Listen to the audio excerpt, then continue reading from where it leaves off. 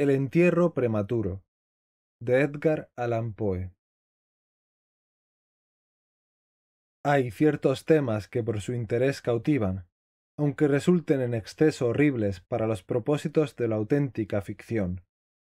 El buen escritor romántico debe evitarlo si no quiere ofender o desagradar. Sólo pueden ser tratados con propiedad cuando la gravedad y majestad de la verdad los santifican y sostienen. Nos estremecemos, por ejemplo, con la más intensa de las penas agradables al leer los relatos del paso del Bereziná, del terremoto de Lisboa, de la peste de Londres, de la matanza de San Bartolomé o de la muerte por asfixia de los ciento veintitrés prisioneros en el agujero negro de Calcuta. Pero en estos relatos lo que emociona es el hecho, la realidad, la historia.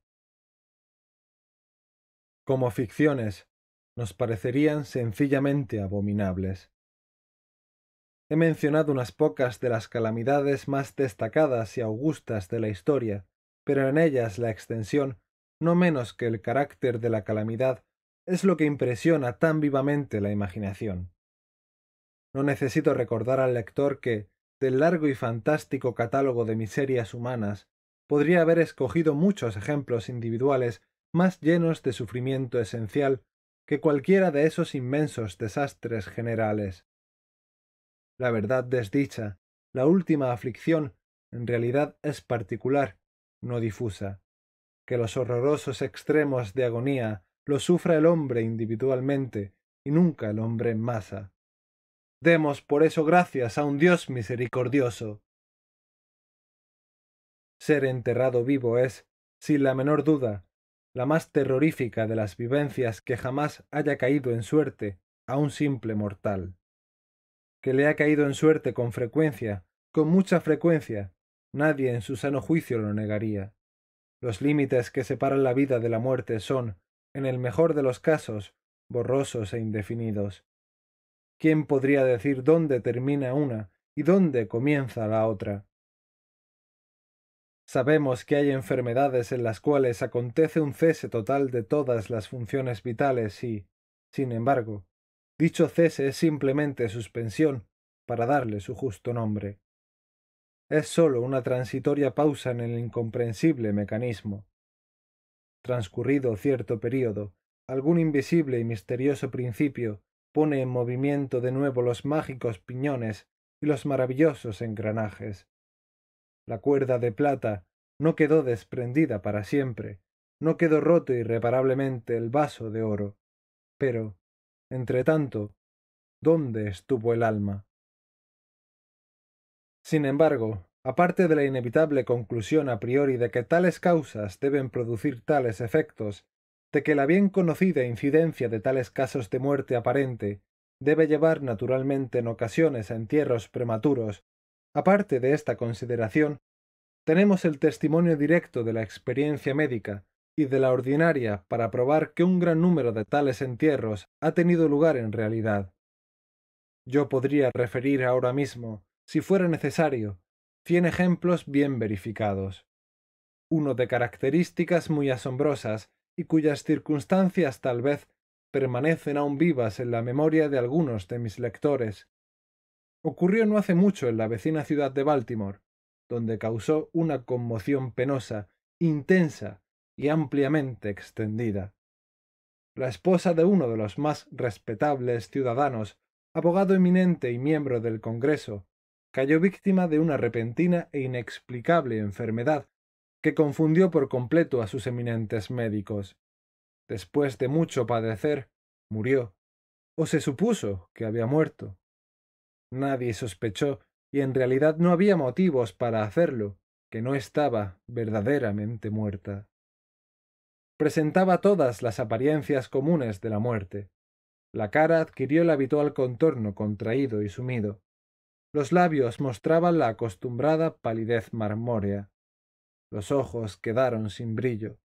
No se le notaba ningún calor. Las pulsaciones cesaron. Durante tres días el cuerpo fue conservado sin enterrar y en ese tiempo adquirió una rigidez pétrea. El funeral, en suma, se apresuró a causa del rápido avance de lo que se supuso era descomposición. La dama fue depositada en la cripta familiar que durante los tres años siguientes permaneció cerrada. Al término de este plazo fue abierta para la recepción de un sarcófago, pero ¡ay! Qué terrible choque aguardaba al marido cuando abrió en persona la puerta. Al balancearse hacia afuera los portones, un objeto vestido de blanco cayó rechinando en sus brazos. Era el esqueleto de su mujer, llevando la mortaja aún no convertida en polvo. Una cuidadosa investigación dejó bien a las claras que había revivido a los dos días de ser sepultada, que sus luchas dentro del ataúd habían hecho caer éste de la repisa o nicho hasta el suelo, donde quedó roto de tal forma que permitió escapar a la mujer. Apareció vacía una lámpara que por accidente se había dejado llena dentro de la tumba. Puede, no obstante, que se consumiera por evaporación. En los peldaños superiores de la escalera que descendía a la espantosa cámara había un gran trozo del ataúd, con el cual, al parecer, la mujer había intentado llamar la atención golpeando la puerta de hierro. Mientras ella se ocupaba en eso, probablemente se desmayó, o tal vez muriera de puro terror, y al caer, la mortaja se enredó en alguna pieza de hierro que se proyectaba hacia adentro. Allí quedó, y así se pudrió, erguida. En el año 1810 ocurrió en Francia un caso de inhumación de un ser vivo, en circunstancias que contribuyen mucho a justificar la afirmación de que la verdad es ciertamente más extraña que la ficción. La heroína de la historia era Mademoiselle Victorine Lafourcade, una joven de ilustre familia, rica y de gran belleza. Entre sus numerosos pretendientes se encontraba Julien Bossuet, un pobre littérateur o periodista de París. Sus talentos y su amabilidad habían despertado la atención de la heredera, quien, al parecer, le amaba verdaderamente. Pero el orgullo del linaje de la joven hizo por fin que tomara la decisión de rechazarlo y de casarse con Monsieur Renel, banquero y diplomático de cierto renombre.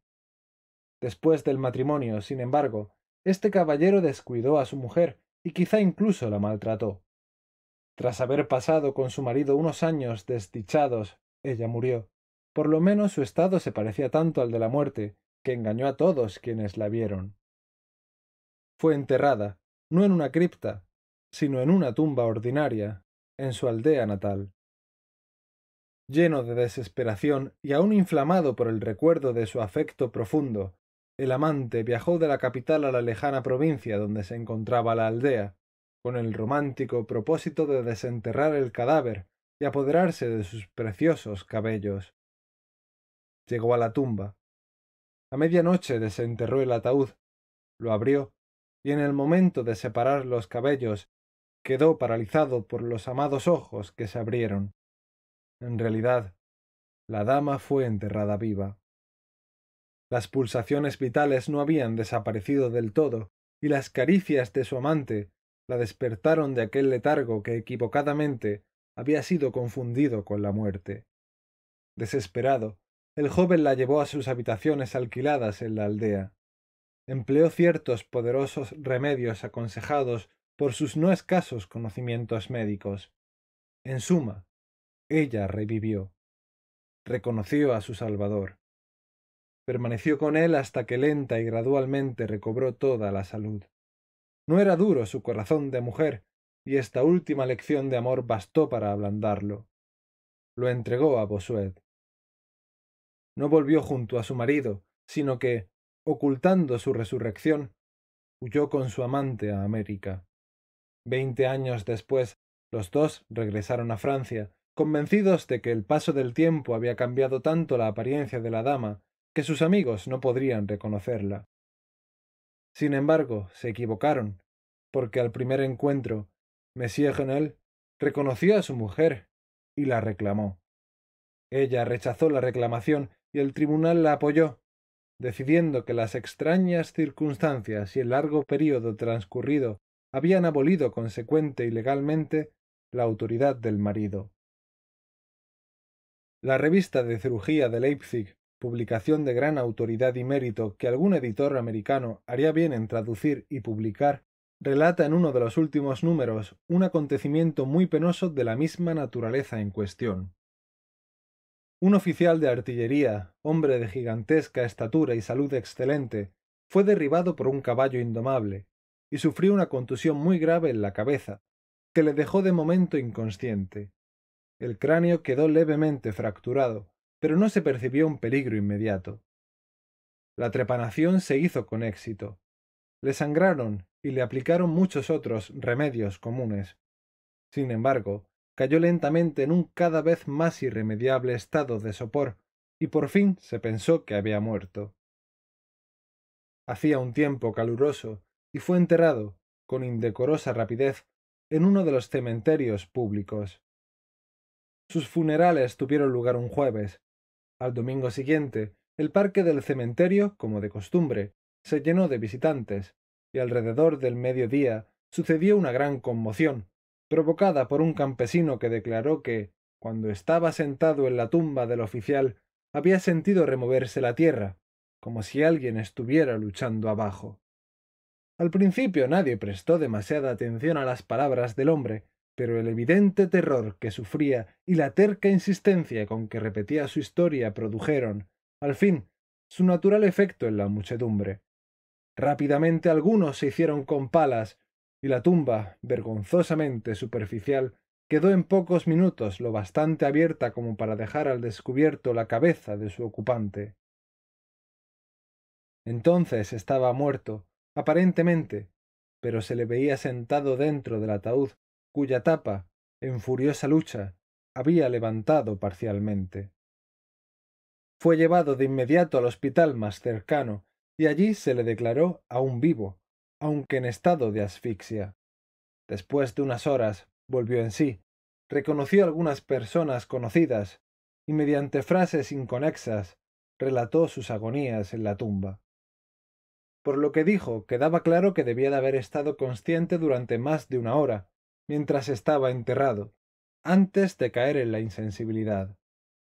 La tumba había sido llenada descuidadamente de una tierra excesivamente porosa y suelta, y así dejó entrar algo de aire. Oyó los pasos de la multitud sobre su cabeza y a su vez trató de hacerse oír. Fue el tumulto en el parque del cementerio, dijo, lo que pareció despertarlo de un profundo sueño, pero apenas despierto se dio cuenta de los espantosos horrores de su situación. Este paciente, según cuenta la historia escrita, iba mejorando y parecía encaminado hacia un restablecimiento definitivo, cuando cayó víctima del charlatanismo de las experimentaciones médicas. Se le aplicó la batería galvánica y expiró de pronto en uno de esos paroxismos estáticos que en ocasiones produce. La mención de la batería galvánica, sin embargo, me trae a la memoria un caso bien conocido y muy extraordinario, en que su acción resultó ser la manera de devolver la vida a un joven abogado de Londres, que estuvo enterrado durante dos días. Esto ocurrió en 1831, y por aquel entonces causaba profunda sensación en todas partes donde era tema de conversación. El paciente, el señor Edward Stapleton, había muerto aparentemente de fiebre tifoidea acompañada de unos síntomas anómalos que despertaron la curiosidad de sus médicos. Después de su aparente fallecimiento, se pidió a sus amigos la autorización para un examen post-mortem, pero se negaron a permitirlo. Como sucede con frecuencia ante tales negativas, los médicos decidieron desenterrar el cuerpo y examinarlo a gusto, en privado. Fácilmente hicieron arreglos con algunos de los numerosos grupos de ladrones de cadáveres que abundan en Londres, y la tercera noche después del entierro, el supuesto cadáver fue desenterrado de una tumba de ocho pies de profundidad y depositado en el quirófano de un hospital privado. Ya se había practicado una incisión de cierta longitud en el abdomen, cuando el aspecto fresco e incorrupto del sujeto sugirió la idea de aplicar la batería. Hicieron sucesivos experimentos y lograron los efectos acostumbrados, sin nada de particular en ningún sentido, salvo en una o dos ocasiones en las que cierta acción convulsiva, señalaba un grado mayor del normal en la apariencia de vida. Se estaba haciendo tarde. Era casi la hora del amanecer, y se juzgó oportuno, al fin, proceder enseguida a la disección. Sin embargo, un estudiante tenía especiales deseos de probar una teoría propia e insistió en aplicar la batería a uno de los músculos pectorales. Se hizo una tosca incisión y se apresuró a aplicar el alambre. Entonces el paciente, con un movimiento rápido pero nada convulsivo, se levantó de la mesa, dio un paso hacia el centro del cuarto, miró intranquilo a su alrededor unos instantes y entonces habló. Lo que dijo fue ininteligible, pero las palabras fueron pronunciadas y las sílabas se oyeron claramente. Después de hablar, cayó pesadamente al suelo. Durante unos momentos todos quedaron paralizados de asombro, mas la urgencia del caso pronto les devolvió la presencia de ánimo. Se vio que el señor Stapleton estaba vivo, aunque sin sentido. Después de administrarle éter, volvió en sí y rápidamente recobró la salud, retornando a la sociedad de sus amigos, a quienes, sin embargo, se les estuvo ocultando todo conocimiento de la resurrección, hasta que ya no se temía una recaída. Es de imaginar la maravilla de aquellos y su extasiado asombro. La peculiaridad más emocionante de este incidente, sin embargo, se encuentra en lo que afirmó el mismo señor Stapleton. Declaró que en ningún momento perdió todo el sentido, que de un modo borroso y confuso se daba cuenta de todo lo que le estaba ocurriendo desde el instante en que fuera declarado muerto por los médicos hasta aquel en que cayó desmayado sobre el piso del hospital. Estoy vivo fueron las incomprendidas palabras que, al reconocer la sala de disección, había intentado pronunciar en aquel grave instante de peligro. Sería cosa fácil multiplicar historias como estas, pero me abstengo, porque de veras no nos hacen falta para establecer el hecho de que ocurren entierros prematuros cuando reflexionamos acerca de las raras veces en que, por la naturaleza del caso, tenemos la posibilidad de descubrirlos, debemos admitir que tal vez ocurren frecuentemente, sin que lo sepamos. En realidad, casi nunca se ha invadido con cierta amplitud un cementerio, por cualquier razón, sin que aparecieran esqueletos en posturas que sugieren la más espantosa de las sospechas. De veras es espantosa la sospecha. Pero más espantoso es el destino. Puede afirmarse sin vacilar que ningún suceso resulta tan terriblemente cierto para inspirar la más extrema de las angustias físicas y mentales que el enterramiento antes de la muerte. La insoportable opresión de los pulmones, las emanaciones sofocantes de la tierra húmeda, la mortaja que se adhiere el rígido abrazo de la estrecha morada, la oscuridad de la noche absoluta, el silencio como un mar que abruma, la invisible pero palpable presencia del gusano vencedor. Estas cosas, junto con los deseos del aire y de la hierba que crecen arriba, con el recuerdo de queridos amigos que volarían a salvarnos sólo con que se enteraran de nuestro destino, y la conciencia de que nunca pueden saberlo, de que nuestra suerte irremediablemente es la de los verdaderamente muertos. Estas consideraciones, digo, llevan el corazón aún palpitante a un grado de pasmoso e insoportable horror, ante el cual la imaginación más audaz retrocede. No conocemos nada tan angustioso en la tierra, no podemos ni soñar con nada tan horrible en los dominios del más remoto infierno y por eso todos los relatos sobre el asunto en cuestión despiertan un interés profundo, interés que, sin embargo, gracias a la temerosa reverencia hacia el propio tema, depende justa y específicamente de nuestra creencia en la verdad del asunto narrado. Lo que voy a contar ahora es algo que corresponde a mi propio conocimiento, a mi propia, personal y verídica experiencia. Durante varios años, había yo sufrido de ataques de ese raro trastorno que los médicos han decidido llamar catalepsia, a falta de un nombre que mejor lo defina. Aunque tanto las causas inmediatas como las predisposiciones e incluso la diagnosis misma de esta enfermedad siguen siendo misteriosas, su carácter evidente y manifiesto es bien conocido. Las variaciones parecen serlo, principalmente, de grado. A veces, el paciente se queda un solo día o incluso un periodo más breve en una especie de exagerado letargo. Está inconsciente y externamente inmóvil, pero las pulsaciones del corazón aún se perciben débilmente. Quedan unos indicios de calor. Una leve coloración persiste en el centro de las mejillas y, al aplicar un espejo a los labios, podemos detectar una torpe desigual y vacilante acción de los pulmones.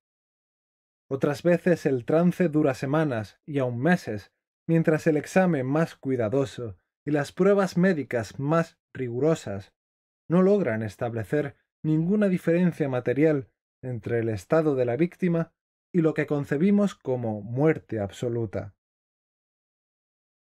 Por regla general, lo salvan del entierro sus amigos que saben que sufría anteriormente de catalepsia y que alimentan la consiguiente sospecha, corroborada sobre todo por la ausencia de la corrupción.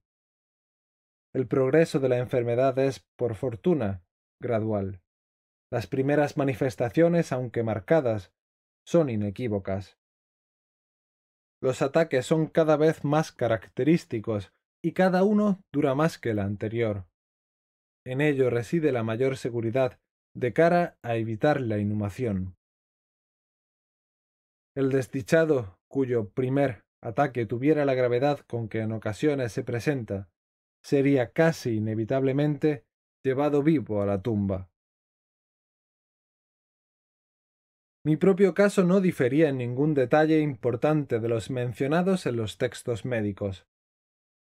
A veces, sin ninguna causa aparente, me hundía poco a poco en un estado de semisíncope o casi desmayo, y en ese estado, sin dolor, sin capacidad de moverme o realmente de pensar, pero con una borrosa y letárgica conciencia de la vida y de la presencia de los que rodeaban mi cama, duraba hasta que la crisis de la enfermedad me devolvía, súbitamente, al perfecto conocimiento. Otras veces el ataque era rápido, impetuoso, me sentía enfermo, aterido, con escalofríos y mareos, y así caía postrado enseguida. Entonces, durante semanas, todo estaba vacío, negro, silencioso y la nada se convertía en el universo. La total aniquilación no podía ser mayor. De estos últimos ataques despertaba, sin embargo, lenta y gradualmente, en contra de lo repentino del acceso así como el día amanece para el mendigo que vaga por las calles en la larga y desolada noche de invierno, sin amigos y sin casa, así tan lenta, tan cansada, tan alegre volvía a mí la luz del alma. Pero aparte de esta tendencia a caer en trance, mi salud general parecía buena, y no podía percibir que le afectara en absoluto esa sola enfermedad, a no ser que en efecto una peculiaridad de mi sueño normal pudiera considerarse como provocada por ella. Al despertarme nunca podía recobrar enseguida el uso completo de mis facultades, y permanecía siempre durante largo rato en un estado de azoramiento y perplejidad, ya que las facultades mentales en general y la memoria en especial se encontraban en absoluta suspensión. En todos mis padecimientos no había sufrimiento físico, sino una infinita angustia moral. Mi imaginación se fue tornando sepulcral. Hablaba de gusanos y tumbas y epitafios. Me perdía en meditaciones sobre la muerte, y la idea del entierro prematuro se apoderaba de mi mente. El espeluznante peligro al cual estaba expuesto me obsesionaba día y noche. Durante el primero, la tortura de la meditación era excesiva. Durante la segunda, era suprema cuando las tétricas tinieblas se extendían sobre la tierra, entonces, con absoluto temor a pesar, temblaba, temblaba como las trémulas plumas de un coche fúnebre. Cuando mi naturaleza ya no podía aguantar la vigilia, me sumía en una lucha que al fin me llevaba al sueño, porque me estremecía pensando que, al despertar, podría encontrarme como ocupante de una tumba. Y cuando, por fin, me hundía en el sueño, lo hacía solo para caer de inmediato en un mundo de fantasmas, sobre el cual flotaba con inmensas y tenebrosas alas negras la única, predominante y sepulcral idea. De las innumerables imágenes melancólicas que me oprimían en sueños, elijo para mi relato una visión solitaria. Creí que estaba inmerso en un trance cataléptico de más duración y profundidad que lo normal. De repente sentí una mano helada en mi frente y una voz impaciente, farfullante, susurró en mi oído la palabra Levántate. Me incorporé. La oscuridad era total. No podía ver la figura del que me había despertado. No podía recordar ni la hora en que había caído en trance, ni el lugar en que me encontraba entonces. Mientras seguía inmóvil, intentando ordenar mis pensamientos, la fría mano me cogió furiosamente de la muñeca, sacudiéndola con petulancia, mientras la voz farfullante, decía de nuevo Levántate. No te he pedido que te levantes. ¿Y tú? pregunté. ¿Quién eres? No tengo nombre en las regiones donde habito, replicó la voz tristemente. Fui mortal y soy espectro. Era despiadado, pero ahora soy piadoso. Sientes que me estremezco, me rechinan los dientes mientras hablo, pero no es por el frío de la noche, de la noche sin fin. Mas este horror es insoportable. ¿Cómo puedes tú dormir tranquilo? No me dejan descansar los gritos de estas grandes agonías. Estos espectáculos son más de lo que yo puedo soportar. Levántate. Ven conmigo a la noche exterior y deja que te muestre las tumbas. ¿No es este un espectáculo de aflicción? Mira. Mira. Miré y la figura invisible que aún me aferraba la muñeca había logrado que se abrieran las tumbas de toda la humanidad, y de cada una salía el débil resplandor fosfórico de la descomposición, de modo que pude ver sus más escondidos rincones, y allí mirar los cuerpos amortajados en su triste y solemne sueño junto al gusano. Pero, ay, los verdaderos durmientes eran menos, por muchos millones, que aquellos que no dormían en absoluto, y había una débil lucha, y había una triste y general intranquilidad, y desde las profundidades de los innumerables pozos salía un melancólico susurro de las vestiduras de los enterrados. Y, entre aquellos que parecían reposar tranquilos, vi que un inmenso número había cambiado, en mayor o menor grado, la rígida e incómoda postura en que fueron originalmente sepultados. Y la voz me habló de nuevo, mientras contemplaba. No es. ¡Ah! No es un lastimoso espectáculo. Pero, antes de que pudiera encontrar palabras para contestar, la figura había dejado de aferrarme la muñeca. Las luces fosfóricas se extinguieron y las tumbas se cerraron con una repentina violencia, mientras de ellas brotaba un tumulto de gritos desesperados, diciendo otra vez No es. ¡Oh, Dios! No es un espectáculo lastimoso. Fantasías como esta, presentándose de noche, extendían su terrorífica influencia aún hasta llegar a mis horas de vigilia. Mis nervios quedaron trastornados y caí víctima de perpetuo horror. Ya no me atrevía a montar a caballo, a pasear, ni a practicar ningún ejercicio que me alejara de la casa. En realidad no me atrevía a apartarme de la presencia inmediata de aquellos que conocían mi propensión a la catalepsia, por miedo a que, en uno de mis acostumbrados ataques, me enterraran antes de averiguar mi verdadero estado. Dudaba del cuidado y de la lealtad de mis amigos más queridos. Temía que, en un trance más largo que el acostumbrado, se dejaran convencer de que no tenía remedio. Incluso llegaba a temer que, como les causaba muchas molestias, quizás se alegraran de considerar cualquier ataque prolongado como excusa suficiente para librarse definitivamente de mí. En vano trataban de tranquilizarme con las más solemnes promesas. Les exigía los juramentos más sagrados de que en ninguna circunstancia me enterrarían hasta que la descomposición estuviera tan avanzada que impidiese toda conservación. Y aun así mis terrores mortales no atendían en razón ninguna, no aceptaban ningún consuelo. Empecé a guardar una serie de complejas precauciones. Entre otras cosas, mandé remodelar la cripta familiar de forma tal que podía abrirse fácilmente desde el interior.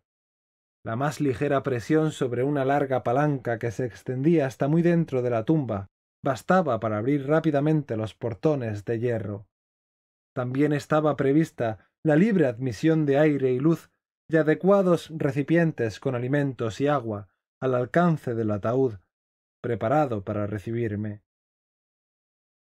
Este ataúd estaba acolchonado de forma suave y cálida y provisto de una tapa, hecha según el principio de la puerta de la cripta, con el añadido de resortes ideados de tal modo que el más débil movimiento del cuerpo bastaría para soltarla.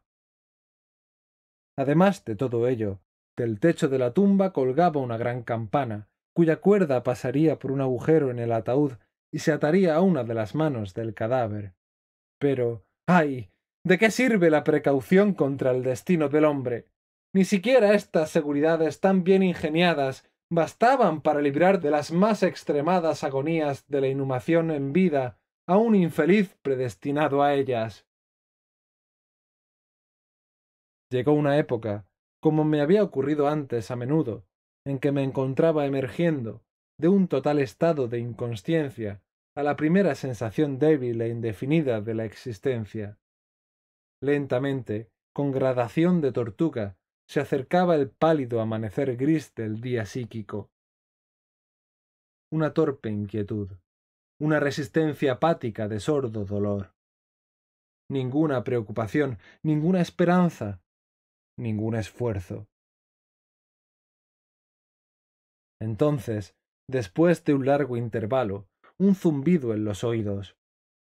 Luego, tras un lapso aún más largo, una sensación de hormigueo o comezón en las extremidades. Después, un período aparentemente eterno de placentera quietud, durante el cual los sentimientos que se despiertan luchan por transformarse en pensamientos. Más tarde, un breve hundimiento en la negación del ser. Luego, un súbito restablecimiento. Al fin, el leve estremecerse de un párpado, e inmediatamente después un choque eléctrico de terror mortal e indefinido que envía la sangre a torrentes desde las sienes al corazón y entonces el primer esfuerzo positivo por pensar, y entonces el primer intento de recordar, y entonces un éxito parcial y evanescente, y entonces la memoria ha recobrado tanto su dominio que, en cierta medida, tengo conciencia de mi estado. Siento que no me estoy despertando de un sueño corriente. Recuerdo que he sufrido de catalepsia y entonces, por fin, como si fuera la embestida de un océano, abruma mi tembloroso espíritu el único peligro horrendo, la única idea espectral y siempre presente. Unos minutos después de que esta fantasía se apoderase de mí, quedé inmóvil. ¿Y por qué? No podía reunir el valor suficiente para moverme. No me atrevía a hacer el esfuerzo que desvelara mi destino. Sin embargo, algo en mi corazón me susurraba que era seguro. La desesperación, tal como ninguna otra clase de desdicha produce jamás, sólo la desesperación me empujó, después de una profunda duda, a abrir mis pesados párpados. Lo hice. Estaba oscuro, todo oscuro. Sabía que el ataque había terminado. Sabía que la manifestación más crítica de mi trastorno había pasado hacía mucho. Sabía que, a la sazón, había recuperado el uso de mis facultades visuales y, sin embargo, estaba oscuro. Todo oscuro. La intensa y absoluta falta de luz de la noche que dura para siempre.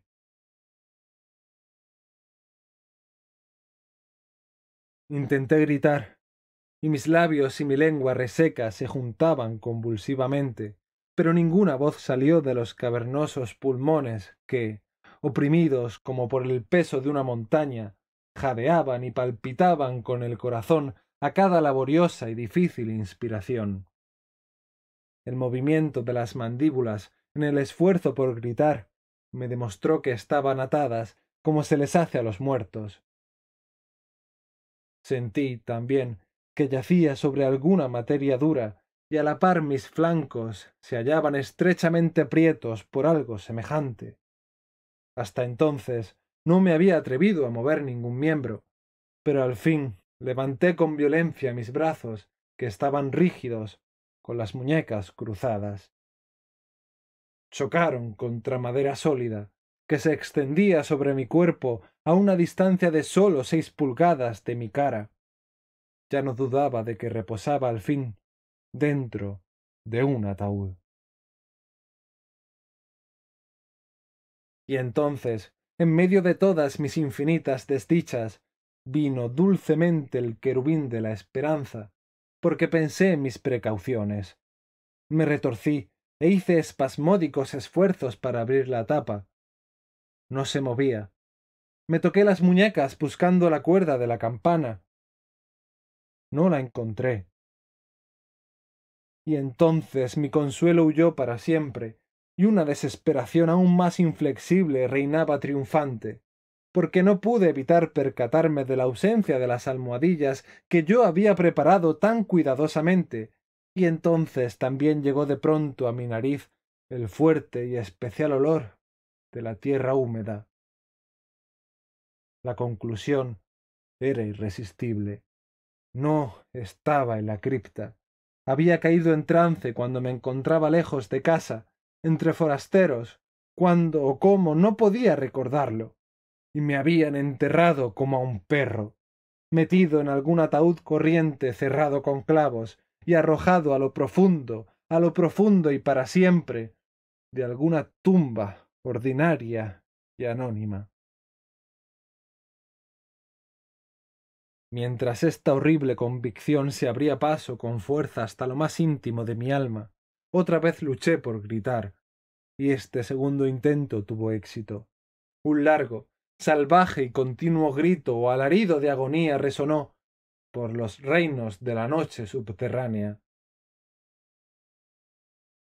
Oye. Oye. ¿Qué es eso? dijo una áspera voz en respuesta. ¿Qué diablos pasa ahora? dijo un segundo. Fuera de ahí. dijo un tercero. ¿Por qué aúlla de esa forma, como un gato montés?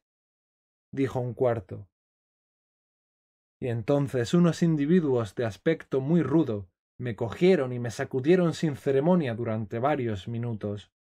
No es que me despertaran del sueño, porque ya estaba completamente despierto cuando grité, pero me devolvieron la plena posesión de mi memoria. Esta aventura ocurrió cerca de Richmond, en Virginia, acompañado por un amigo, había bajado, en una expedición de caza, unas millas por las orillas del río James. Se acercaba la noche cuando nos sorprendió una tormenta. El camarote de una pequeña chalupa anclada en la corriente y cargada de mantillo nos había ofrecido el único refugio asequible. Nos contentamos como pudimos y pasamos la noche a bordo. Yo dormía en una de las dos únicas literas, y no hace falta describir las literas de una chalupa de sesenta o setenta toneladas. La que yo ocupaba no tenía ropa de cama de ningún género. Su anchura mayor medía dieciocho pulgadas. La distancia entre el fondo y la cubierta era, justamente, la misma. Me había resultado dificilísimo introducirme en ella. Sin embargo, dormí profundamente, y toda mi visión, porque no fue ni sueño ni pesadilla, surgió naturalmente de las circunstancias de mi postura de la propensión habitual de mis pensamientos y de la dificultad que ya he mencionado de concentrar mis sentidos, sobre todo de recobrar la memoria durante un largo rato después de despertarme. Los hombres que me sacudieron eran los tripulantes de la chalupa y algunos jornaleros contratados para descargarla. De la misma carga procedía el olor a tierra. La venda alrededor de las mandíbulas era el pañuelo de seda que me había atado en la cabeza, a falta de gorro de dormir. Las torturas que soporté, sin embargo, fueron indudablemente iguales en aquel momento a las de la verdadera sepultura. Eran terriblemente, eran increíblemente espantosas. Pero del mal procedió un bien, porque su mismo exceso provocó en mi espíritu una repulsión inevitable. Mi alma adquirió temple, adquirió serenidad. Salía al campo, hacía ejercicio vigoroso, respiraba el aire libre del cielo. Pensé en más cosas que en la muerte. Abandoné mis textos médicos. Quemé el libro de Buchan. No leí más pensamientos nocturnos, ni rimbombancias sobre cementerios, ni cuentos de miedo como el presente. En resumen, me convertí en un hombre nuevo y viví una vida de hombre. Desde aquella noche memorable, descarté para siempre mis aprehensiones sepulcrales y con ellas se desvanecieron los trastornos catalépticos, de los cuales quizá fueron menos la consecuencia que la causa. Hay momentos en que, aun para el sereno ojo de la razón, el mundo de nuestra triste humanidad puede asumir la apariencia del infierno, pero la imaginación del hombre no es caratis para explorar con impunidad todas sus cavernas. ¡Ay! La torva legión de los terrores sepulcrales no puede considerarse como completamente imaginaria, pero igual que los demonios en cuya compañía Afrasiab hizo su viaje por el Oxus, deben dormir o nos devorarán. Debemos permitirles dormir o pereceremos.